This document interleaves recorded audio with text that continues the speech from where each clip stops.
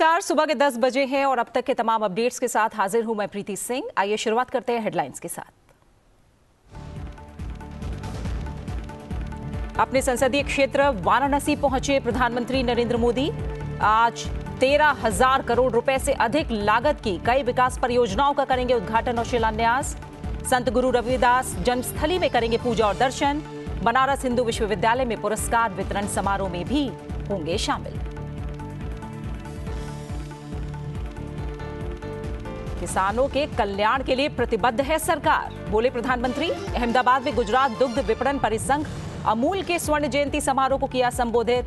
कहा, सरकार महिलाओं की आर्थिक शक्ति बढ़ाने के लिए बहुआयामी रणनीति पर कर रही है काम।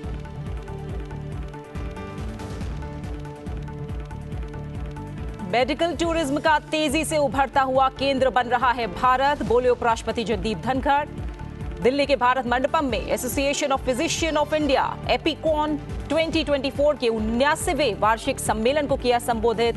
कहा, एक समान पहुँच और निष्पक्षता होनी चाहिए। स्वास्थ्य सेवाओं की कसौटी। विदेश मंत्री डॉक्टर एस जयशंकर का बयान, संयुक्त राष्ट्र सुरक्षा परिषद के पाँच स्थायी सदस्य देशों का कम दूरदर्शी नज़रिया। लंबित सुधार की राह में आगे बढ़ने में बड़ी बाधा। रायसीना डायलॉग के एक सत्र में विदेश मंत्री का संबोधन।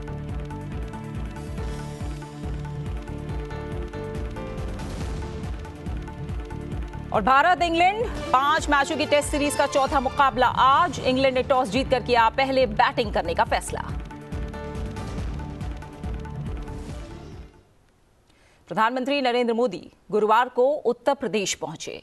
वाराणसी पहुँचने पर प्रधानमंत्री नरेंद्र मोदी का जोरदार स्वागत हुआ। प्रधानमंत्री नरेंद्र मोदी के स्वागत के लिए समर्थकों का सैलाब आधी रात को सड़कों पर खड़ा था।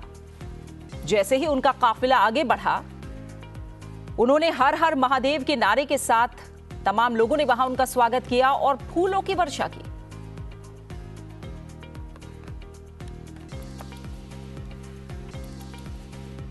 प्रधानमंत्री ने काशी में रात के वक्त ही शिवपुर, फुलवारिया, लहरतारा मार्ग का निरीक्षण किया। इस परियोजना का हाल ही में उद्घाटन किया गया था और यह शहर के दक्षिणी हिस्से के लोगों के लिए काफ़ी मददगार साबित हो रहा है।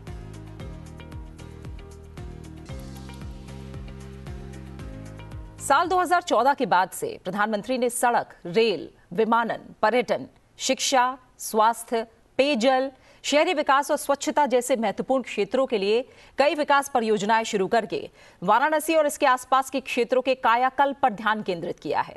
और इसी दिशा में एक और कदम आगे बढ़ाते हुए प्रधानमंत्री वाराणसी में आज तेरह हज़ार करोड़ रुपए से ज़्यादा के लागत की तमाम विकास परियोजनाओं का उद्घाटन और शिलान्यास करने वाले हैं। दोपहर करीब पौने दो बजे, यानी एक बजकर पैंतालीस मिनट पर इस कार्यक्रम की शुरुआत होगी। वाराणसी की सड़क कनेक्टिविटी को और बेहतर करने के लिए प्रधानमंत्री एनएच 233 के घरगरा ब्रिज वाराणसी खंड के चार लेन सहित कई सड़क परियोजनाओं का उद्घाटन और शिलान्यास भी करेंगे। प्रधानमंत्री वाराणसी में कई शहरी विकास परियोजनाओं का उद्घाटन करेंगे, जिनमें रमना में एनटीपीसी द्वारा शहरी कचरे से चार कोल संयंत्र और सिस वरुण क्षेत्र में जल आपूर्ति नेटवर्क का उन्नयन भी शामिल है। इस क्षेत्र में औद्योगिक विकास को गति प्रदान करने के लिए कई और परियोजनाएँ भी लाई जाएँगी।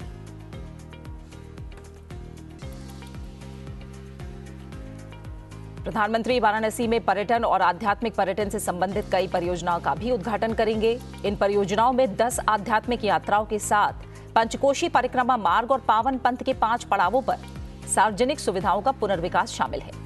साथ ही वाराणसी और अयोध्या के लिए भारतीय अंतर्देशीय जलमार्ग प्राधिकरण द्वारा प्रदान किए गए इलेक्ट्रिक कैटेमरन जहाज़ का शुभारंभ भी होगा। इलेक्ट्रिक कैटेमरन हरित ऊर्जा के उपयोग के साथ गंगा में पर्यटन के अनुभव को बढ़ाएगा। प्रधानमंत्री विभिन्न शहरों में आईडब्ल्यूएआई के तेरह सामुदायिक घाटों की आधारशिला भी रखेंगे।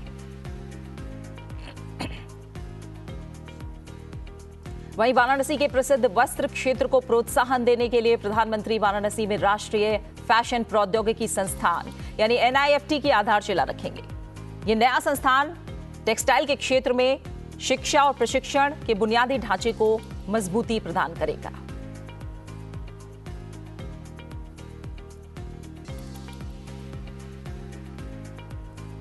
स्वास्थ्य के बुनियादी ढांचे को बढ़ाते हुए, मज़बूत करते हुए प्रधानमंत्री वाराणसी में एक मेडिकल कॉलेज की आधारशिला रखेंगे। साथ ही वो बीएचयू में नेशनल सेंटर ऑफ़ एजिंग की आधारशिला रखेंगे। वाराणसी के बनारस हिंदू विश्वविद्यालय के स्वतंत्रता सभागार में पुरस्कार वितरण समारोह में वो शामिल होंगे। इस दौरान प्रधानमंत्री काशी संसद ज्ञान प्रतियोगिता, काशी संसद फोटोग्राफी प्रतियोगिता और काशी संसद संस्कृत प्रतियोगिता के विजेताओं को पुरस्कार भी प्रदान करेंगे। प्रधानमंत्री संत गुरु रविदास जन्मस्थली पर पूजा और दर्शन करेंगे। वो संत गुरु रविदास जन्मस्थली मंदिर के समीप, रविदास पार्क में संत रविदास की नवस्थापित प्रतिमा का अनावरण करेंगे। इसके बाद संत गुरु रविदास की छह जयंती के उपलक्ष्य में एक सार्वजनिक समारोह में भाग लेंगे और संत रविदास जन्मस्थली के आसपास लगभग 32 करोड़ रुपए की विभिन्न विकास कार्यों का उद्घाटन करेंगे। लगभग बासठ करोड़ रुपए की लागत से संत रविदास संग्रहालय और पार्क के सौंदर्यीकरण की आधारशिला भी रखेंगे। वाराणसी में प्रधानमंत्री के इन कार्यक्रमों का सीधा प्रसारण आप संसद टीवी पर देख सकते हैं।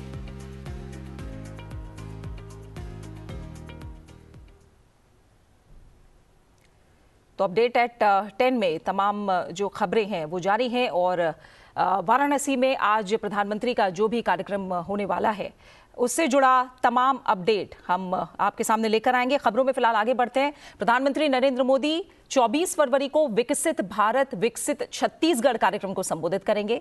प्रधानमंत्री कार्यक्रम के दौरान चौंतीस करोड़ रुपए से ज़्यादा की कई विकास परियोजनाओं का उद्घाटन, लोकार्पण और शिलान्यास करेंगे। दोपहर साढ़े बारह बजे वीडियो कॉन्फ्रेंसिंग के माध्यम से इस कार्यक्रम से वो जुड़ेंगे। चौंतीस हज़ार चार सौ करोड़ रुपए से अधिक की ये परियोजनाएँ, सड़क रेलवे, कोयला, बिजली और सौर ऊर्जा सहित कई महत्वपूर्ण क्षेत्रों से संबंधित है।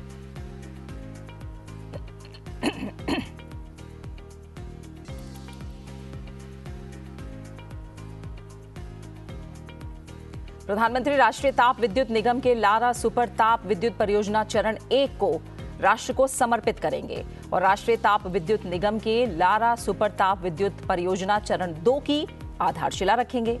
चरण एक और चरण दो, दोनों से 50 प्रतिशत बिजली छत्तीसगढ़ राज्य को आवंटित की जाएगी।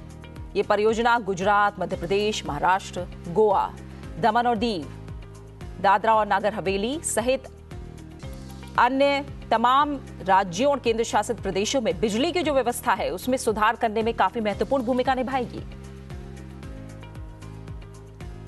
प्रधानमंत्री साउथ ईस्टर्न कोलफील्ड्स लिमिटेड की तीन प्रमुख फ़र्स्ट माइल कनेक्टिविटी परियोजना का उद्घाटन करेंगे, जिसकी कुल लागत 600 करोड़ रुपए से ज़्यादा की है। ये परियोजनाएँ कोयले की तेज, पर्यावरण अनुकूल और कुशल मशीनीकृत निकासी में मदद करेगी। प्रधानमंत्री, क्षेत्र में नवीकरणीय ऊर्जा के उत्पादन को प्रोत्साहन देने के लिए एक कदम के रूप में राजनांदगांव में लगभग 900 करोड़ रुपए की लागत से निर्मित सौर पीवी परियोजनाओं का उद्घाटन करेंगे। परियोजना सालाना अनुमानित 243.53 मिलियन यूनिट बिजली पैदा करेगी और 25 साल में लगभग 4.87 मिलियन टन कार्बन डाइऑक्साइड के उत्सर्जन को कम करेगी।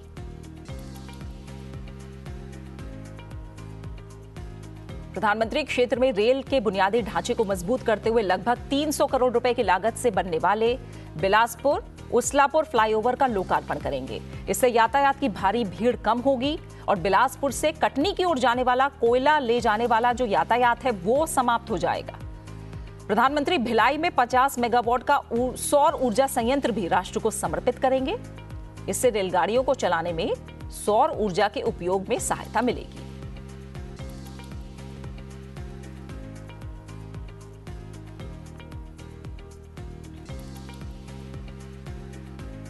बात कुछ और खास अपडेट की करते हैं। विदेश मंत्री एस जयशंकर ने कहा है कि संयुक्त राष्ट्र सुरक्षा परिषद के पाँच स्थायी सदस्य देशों का कम दूरदर्शी नज़रिया इस वैश्विक निकाय में बहुत अधिक समय से लंबित सुधार की राह में आगे बढ़ने में एक बाधा है।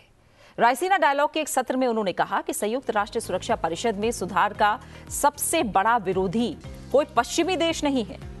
विदेश मंत्री ने कहा कि संयुक्त राष्ट्र प्रणाली में बदलाव की भावनाएँ बहुत मज़बूत हैं, लेकिन इसके लिए सहमति प्राप्त करना चुनौती है।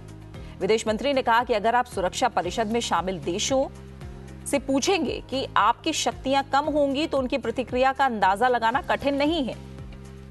डॉक्टर एस जयशंकर ने कहा कि अगर ये देश बुद्धिमान है तो इनका उत्तर कुछ और होगा। हालाँकि अगर ये देश अदूरदर्शी है तो उत्तर वही होगा जो आज है। यूएनएससी में पाँच स्थायी सदस्य रूस, ब्रिटेन, चीन, फ्रांस और अमेरिका हैं। इनके पास किसी भी देश की तरफ़ से पेश किए गए ठोस प्रस्ताव पर वीटो करने का अधिकार है। रायसेना डायलॉग, भू राजनीति और भू रणनीति पर केंद्रित भारत का प्रमुख सम्मेलन है। ये तीन दिवसीय सम्मेलन बुधवार को शुरू हुआ। तीन दिवसीय सम्मेलन का विषय चतुरंगा, संघर्ष, प्रतियोगिता, सहयोग और सृजन है। प्रधानमंत्री नरेंद्र मोदी ने अहमदाबाद के नरेंद्र मोदी स्टेडियम में राज्य के विभिन्न हिस्सों से आए किसानों की मौजूदगी में गुजरात सहकारी दुग्ध विपणन महासंघ के स्वर्ण जयंती समारोह में शिरकत की। इस मौके पर प्रधानमंत्री ने कहा कि भारत का दुग्ध क्षेत्र 6 प्रतिशत की दर से विकसित हो रहा है। ये 10 लाख करोड़ के वार्षिक टर्नओवर के वैश्विक औसत से बहुत ज़्यादा है। उन्होंने कहा कि भारत के दुग्ध क्षेत्र की वास्तविक क्षमता के पीछे महिलाओं की शक्ति है। किसानों और महिलाओं को स्वावलंबी बनाने में अमूल के योगदान की सराहना करते हुए प्रधानमंत्री ने विकसित भारत का लक्ष्य प्राप्त करने के लिए महिलाओं की आर्थिक शक्ति बढ़ाने पर ज़ोर दिया। आज भी ये सरकार और सहकार के तालमेल का बेहतरीन मॉडल है। ऐसे ही प्रयासों की वजह से हम आज दुनिया के सबसे बड़े दूध उत्पादक देश हैं। भारत के डेयरी सेक्टर में आठ करोड़ लोग सीधे जुड़े हुए हैं। अगर मैं पिछले दस साल की बात करूँ तो भारत में दूध उत्पादन में करीब करीब 60 प्रतिशत वृद्धि हुई है। पिछले 10 वर्षों में प्रति व्यक्ति दूध उपलब्धता भी करीब करीब 40 प्रतिशत बढ़ी है। दुनिया में डेयरी सेक्टर सिर्फ़ दो प्रतिशत की दर से आगे बढ़ रहा है, जबकि भारत में डेयरी सेक्टर छह प्रतिशत की दर से आगे बढ़ रहा है। साथियों, भारत के डेयरी सेक्टर की एक सबसे बड़ी विशेषता है, जिसकी उतनी चर्चा नहीं होती। आज इस ऐतिहासिक अवसर पर मैं इस विषय पर भी विस्तार से चर्चा करना चाहता हूँ। भारत में 10 लाख करोड़ रुपए के टर्नओवर वाले डेयरी सेक्टर की मुख्य कर्ता धर्ता देश की नारी शक्ति है। प्रधानमंत्री नरेंद्र मोदी ने गुजरात के नवसारी में विभिन्न परियोजनाओं के उद्घाटन, लोकार्पण और शिलान्यास कार्यक्रम में हिस्सा लिया। उन्होंने नवसारी में काकरापार परमाणु ऊर्जा परियोजना सहित अन्य विभिन्न परियोजनाओं का भी लोकार्पण किया।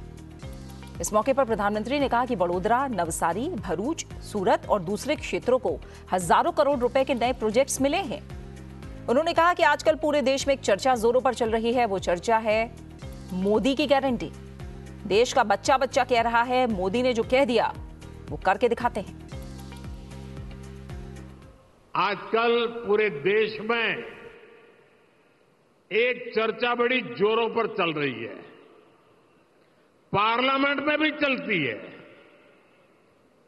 और गली मोहल्ले में भी चल रही है। और वो चर्चा है मोदी की गारंटी।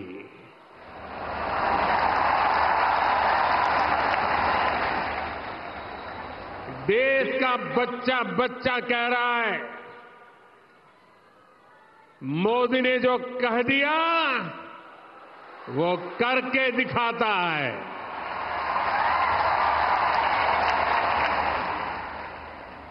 देश के बाकी लोगों के लिए तो शायद ये बात नहीं है, लेकिन गुजरात के लोग तो बरसों से जानते हैं कि मोदी की गारंटी, यानी गारंटी पूरा होने की गारंटी।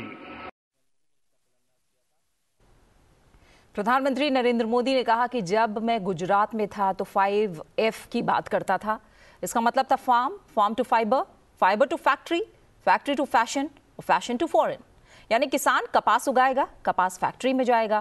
फैक्ट्री में बने धागे से परिधान बनेंगे और यही परिधान विदेशों के लिए निर्यात होंगे। आज आत्मनिर्भर भारत बनाने के लिए हम ऐसी ही व्यवस्थाओं का निर्माण कर रहे हैं। पीएम मित्र पार्क, ये पीएम मित्र पार्क भी इसी अभियान का हिस्सा है। नवसारी में आज जिस पीएम मित्र पार्क का काम शुरू हो रहा है वो टेक्सटाइल सेक्टर के लिए देश का ऐसा पहला पार्क है। आज एक प्रकार से सूरत सिल्क सिटी का विस्तार नवसारी तक हो रहा है। आज इस सेक्टर में दुनिया के सबसे बड़े उत्पादकों और निर्यातकों को भारत टक्कर देने लगा है। और इसमें गुजरात की टेक्सटाइल इंडस्ट्री का बहुत बड़ा योगदान है। बीते वर्षों में सूरत के कपड़े की अपनी एक अच्छी पहचान बन गई है। यहाँ जब ये पीएम मित्र पार्क तैयार हो जाएगा तो इस पूरे क्षेत्र की तस्वीर बदल जाएगी।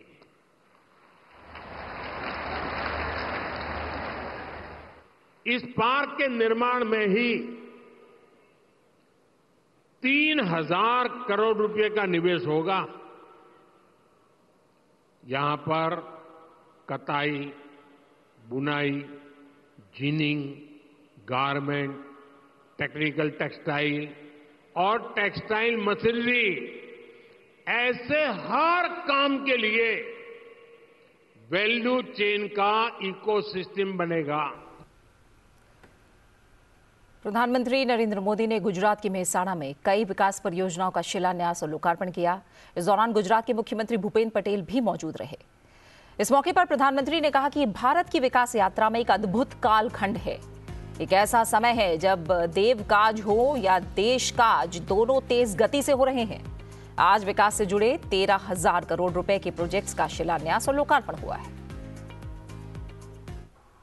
बीते दो दशकों में हमने गुजरात में विकास के साथ साथ विरासत से जुड़े स्थानों की भव्यता के लिए भी काम किया है।